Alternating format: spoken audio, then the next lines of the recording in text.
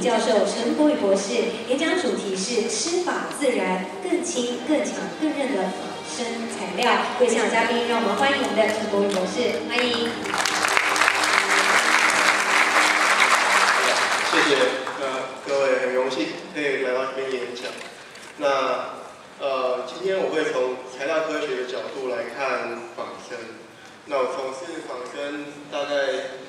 将近十年，因为我很有幸在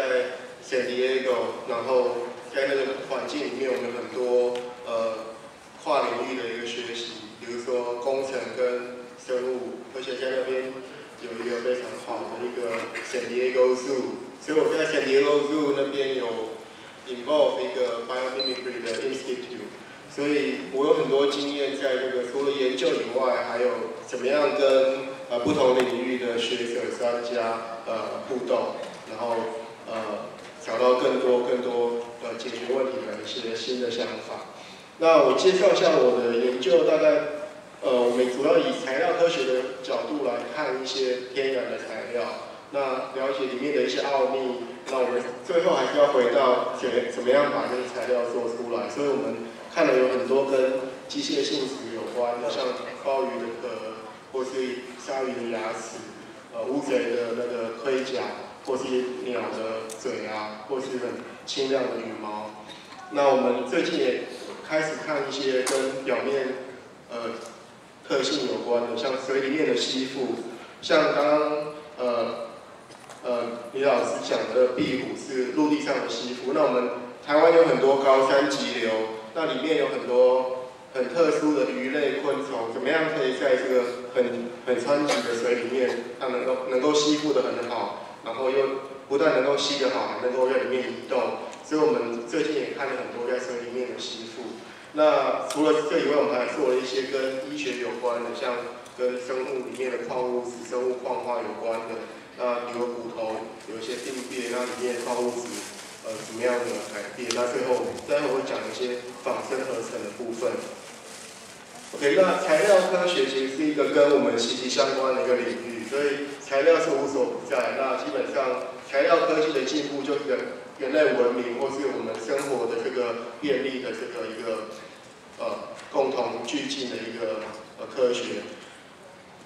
所以其实跟我们的这个生活息息相关。所以我们如果看这个文明或这个历史，最早的时候呃几几千万年前。我们可以用的都是一些天然的材料，就是 nature materials，比如用一些石头啊，或是动贝壳啊，或是木头，或是动物的骨头来当工具。那开始有一些，比如有开始懂得用火以后，可以用烧制一些陶器。那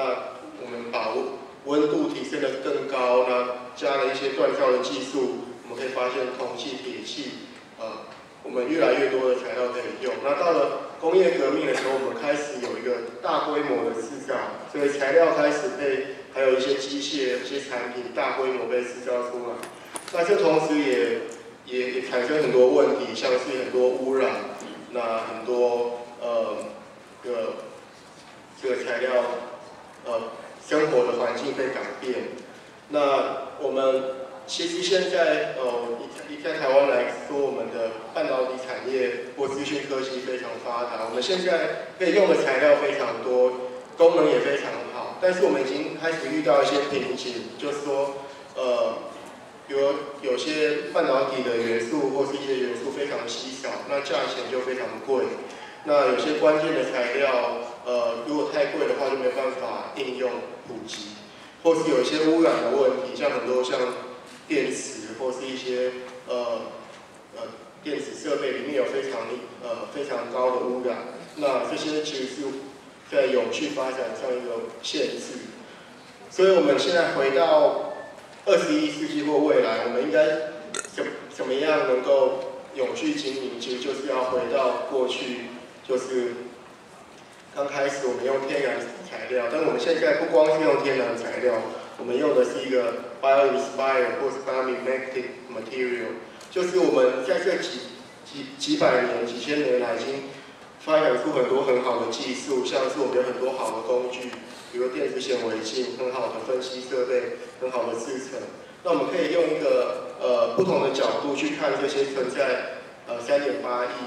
呃这年存在已久的一些材料。那我们这边就可以说它，我们从大自然里面重新去看这些存在已久的材料，那回归自然，那希望能够跟自然呃融合，就从从这个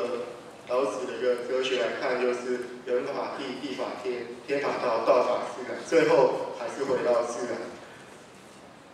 那仿生学，我们呃广义的来说，就是从自然呃来找到一些特殊的一些，比如结构、功能或一些行为，那希望能够呃设计哦或做出呃新的一些呃应用。那以材料的角度，我们看天然的材料跟我们一般的合成材料有什么不一样？天然的材料通常是非常有限的一些元素，就是我们可以看到一些矿物质，比如碳酸钙、呃磷酸钙、二氧化硒，跟一些蛋白质，胶原蛋白、角质蛋白、弹性蛋白，还有一些多糖类，非常有限的元素，透过一个在常温常压来自我组成，然后它们组成会非常复杂的一个多阶层结构，我们叫做 hierarchical structure。那它的功能通常是一个 multi-functional，像我们的骨头，除了可以支持我们的身体，它还有其他的功能。那其实这跟我们的材料就不一样。那天然的材料其实它用的材料不是最好的，因为你可以想象矿物质，像刚全力讲的这个碳酸钙，就像粉笔一样脆。那蛋白质也非常的软，但是怎么样将这个本来不是非常好的材料？呃，形成一个非常好的复合材料，那就是我们通常蛋白质很很软，但是很韧，那矿物质非常硬，但是太脆，所以它们单独来用都不够好。那在自然界，生物材料它通常是一个复合材料，所以它结合了软、硬，还有韧性跟强度，像是我们的骨头。呃，骨头、呃，牙齿或者贝壳，还有鹿角，它们其实都有一个非常好的一个机械性质，呃，强度跟韧性，而且它重量低，而且密度低。呃，所以其实我的博士论文就在做这个鹿角。虽然我研究很多不同的天然材料，但是我我的博士论论文在研究鹿角为什么这么韧。那。就我们最近在 Science 有一个 review paper 就在讲这个结构跟机械性质的关联。那怎么样有里面有一些特别的 strategy，怎么样可以应用在新的材料做，把材料做得更轻、更强、更韧。然后我们里面有一些呃例子。那我们如果从最早一些比如演化的初期来看，细藻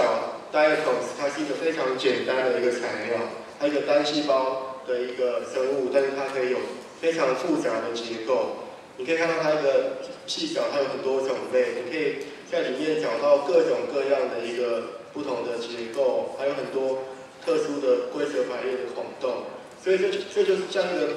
天然的一个工具箱，你可以在里面可能可以找到齿轮，可以找到一个呃针状的结构，或是多孔的结构。那我们目前也有在做一些。透过细小改词，然后把它做成一个多孔的一些复合材料。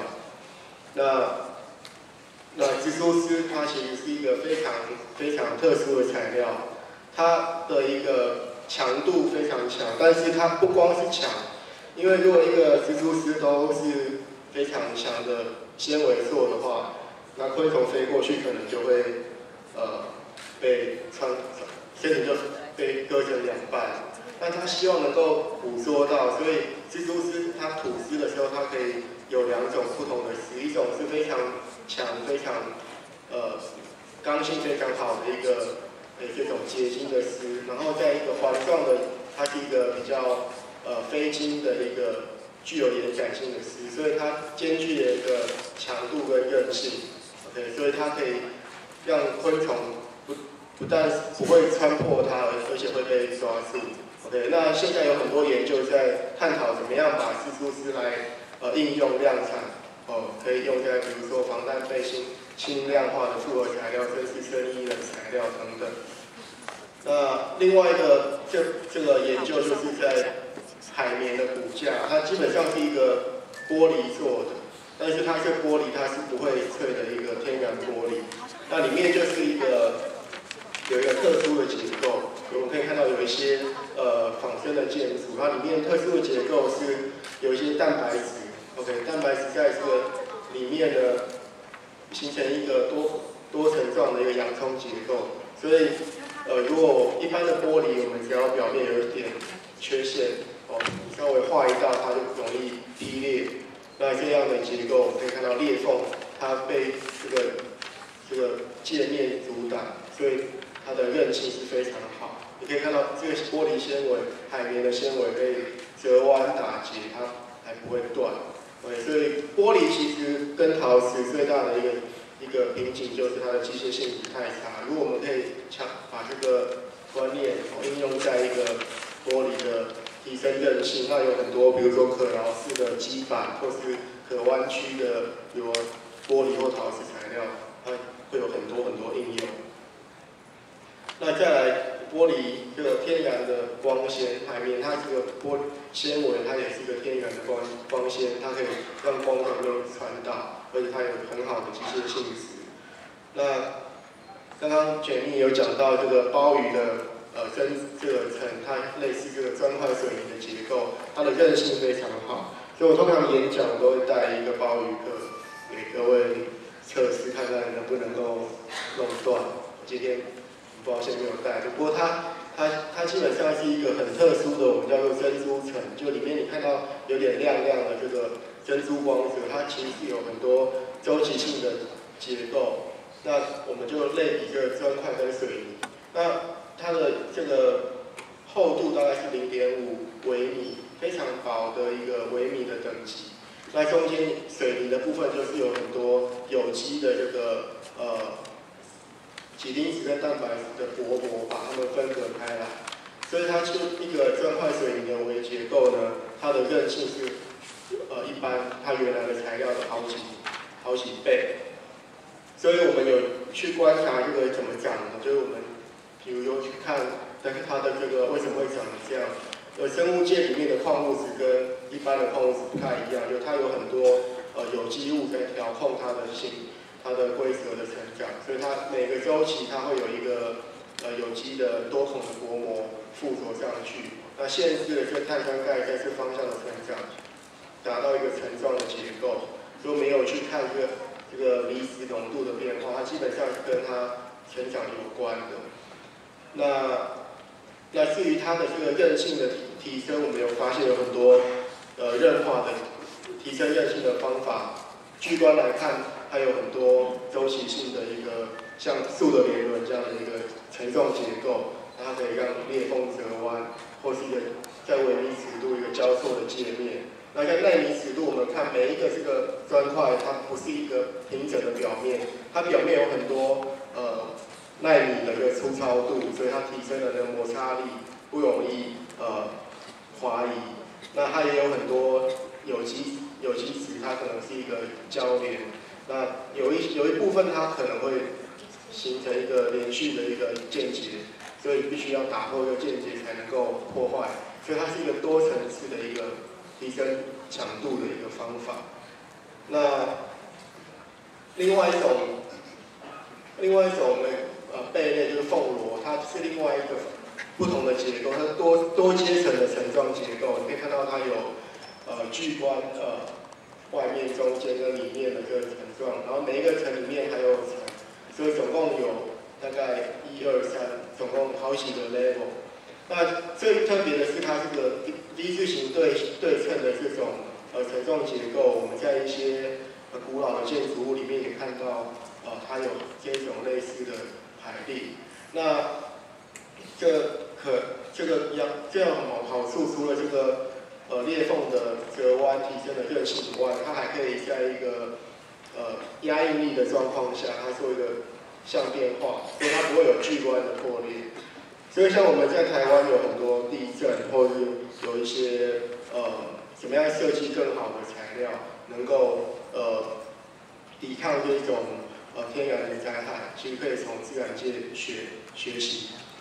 那我们刚讲到的是韧性，那回到一个我们换一个角度来看，一个跟飞行有关，飞行本身就是一个呃仿生的过程。那这个其实从一个想法到实现，已经呃目前已经我们有很多不同各种各样的飞机，但是还是有很多可以改进的空间。所以这我们在研究这个突坎，就是巨嘴鸟的一个嘴，怎么样？在你看突那个巨嘴鸟的嘴这么大，那它其实是非常轻，它的重量只有身体的呃体重的二十分之一，那长度是三分之一。那怎么样做一个很轻的材料？就是我们要适时的减料，就是常常讲说我们要有一些不要偷工减料，但是我们常常一个另外一个 strategy 就是怎么样能够减料但不偷工，就是我们用更少的材料，然后达到一样的强度，所以它中中中间是完全中空的，那外面是一个呃外壳包覆着这个多孔的骨头。那比较特别的是，它是有一个封闭式的腔室，就是它有很多支架，还有一些薄膜包覆。所以这就像我们的雨伞或帐篷，它如果支架断了，它这个结构不会整个坍塌，它可能有点变形，但是你必须要把这个薄膜弄破才能够摧毁这个结构。所以这里面我们可以应用在很多轻量化的设计，比如说呃建筑啊、汽车或航太。那我们有做一些模拟，如果里面没有这个多孔的填充，像吸管一样，很容易发折弯发扣。那如果只是一个海绵的话，很容易被压。那如果把一个吸管跟海绵，或者一个外壳跟里面结合在一起，有一个一加一大于二的一个 synergistic effect，所以它就会是一个非常好的一个材料。那刚刚有讲到你骨头，我们看一些鸟类的骨头，它其实跟一般的动物的骨头不太一样，它的壁很薄，然后它中间有一部分非常小部分关键的地方，它有一些纤维支撑住。这怎么样用最少的材料达到轻量化？就是我们台湾有很多像是自行车做的非常好，或是一些轻量化的设计，可以从鸟的骨头来学习。像头骨不受力，它可能会非常空。非常呃松散的一个结构，但是它呃用的材料就很少。那鸟类的羽毛其实是一个很很特殊，除了它的颜色，刚提到的结构性的颜色以外，它的它里面有很多孔孔洞结构。那这边讲说也有洞天，就是它洞里面还有洞，它是一个呃有许多非常呃纳米的。纤维所组成的一个孔洞状结构，那可以大幅降低呢它的一个重量，但是又兼具它的机械性质。那除了这个以外，我们还可以看到这个是豪猪的刺，它用来防御，所以必须要能够抗折弯，不然它就会会被压扁。所以它里面一样是有很多呃多孔材料的充填，还有一些薄膜的来保护，或是一些热带地区的植物，它可以长得非常高。，OK，，但是它不会完垂下来，它其实就里面有一些多阶层的孔洞结构。所以，呃，除了轻量化，呃，这是从 Airbus 的一个呃目前的一些想法，就是他们现在一些仿生的设计，可能从表面有自我清洁，或是飞行的模式，哦，或是仿鲨鱼表面的避暑抗的设计，甚至它的一些可以移动的这个 moving movable parts。那比较特别的是这个猫头鹰的飞行，它是一个无声的，就是它在晚上出来捕捉的时候，它几乎是没有声音。那怎么样降低这个飞机的噪音，或是呃一些无人飞机怎么样呃完全没有声音？可以从猫头鹰的呃羽毛学习，或是这边是老鹰的一个滑翔。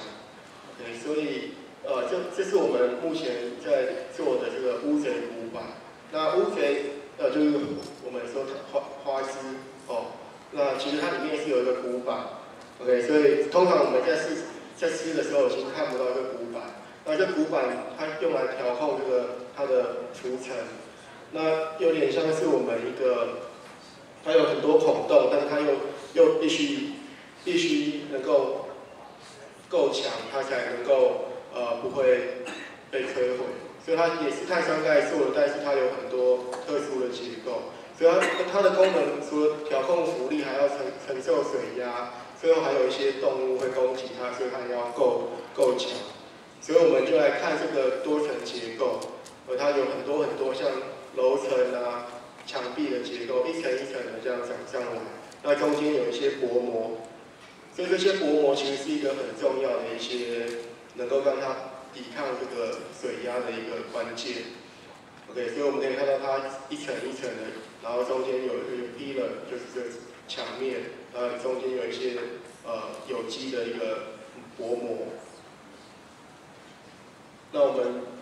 我们去做一些呃去压它，然后用这个电脑断层扫描去看。基本上它受压力的时候，它不会整个垮下来。你想想看，它是一个用粉底、这个碳酸钙做的一个材料，非常空，但是它它的用机械性质非常好，所以它如果垮下来，它是一层一层这样子，哦，不会一个很粉碎性的一个破裂。OK，所以这是一个非常好的一个多孔材料。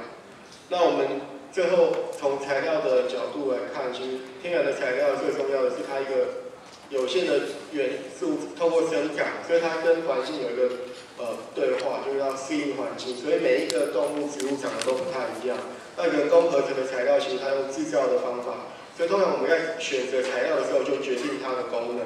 所以没有自我修复的能力。所以其实我们要怎么样能够从自然界学？这边其实这两边两个呃领域其实还有很大的一个一个 gap。OK。所以我们呃在实验室有试着做一些镀膜的方法，就是怎么样把刚刚看到鲍鱼壳的这个结构做出来。我们用镀膜的方法镀一些呃陶瓷跟跟这个高分子的膜，所以我们可以跟做出跟鲍鱼鲍鱼壳的这个珍珠层一样的这个有机无机的呃多层结构，提升它的韧性。那再来，我我们也目前也有在用这个冷冻铸造法。就来做一些呃多层的结构，或是这个类似呃砖块水泥这种结构，所以用的材料其实都是非常便宜，而且非常本身不是很强的材料。但我们透过结构的设计，还有这个有机无机的界面的设计，我们提升它的韧性。OK，所以它的呃机械性质是非常好，比它原来的材料，原来的是氧化铝跟 PMMA 要好上好几个 order。所以我们其实呃最后我们讲说，就是材料，我们希望从仿生的角度来看，怎么样把目前材料的性质做一个提升。以前我们都是希望找到最好的材料做最好的应用，现在我们开始想的是用最自然界呃广泛有的这个轻量元素或是环保的材料，那不做透过结构的设计或是仿生的设计来达到更好的功能。那我们今天因为时间有有限，我讲的比较多跟机械性质有关的一个仿生材料。那当然还有一些是跟表面性质，比如说呃吸附、亲疏水、自我清洁、抗菌等等。还有一些光学性质，像结构性的颜色啊，呃，或是光电元件，或是跟能源有关，怎么样节能，呃，或是产生能源。或是跟生物相融，或者自我修复，跟生医材料、生医产产业有关的。那我想这个领域是非常多可能性的。回到这一句话，就是我们最后还是要从自然界学习，那希望做出来的材材料产品是跟自然相融，是一个永续经营的。那最后呃，就打个广告，因为我今年呃七月出版的这本书《Biological Material Science》。它里面包括了天然的材料、仿生的材料跟生医材料。它是第一本就是结合这这这些领域的一个教科书。我们在呃 Cambridge University Press 就介介绍出版就出版。那我们之前有出版了几个 review paper 在探讨这个领域的一个发展。所以我们有这几个呃重要的一些呃 publication。那我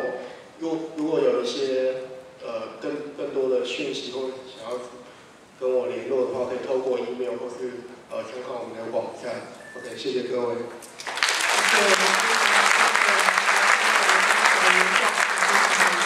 谢谢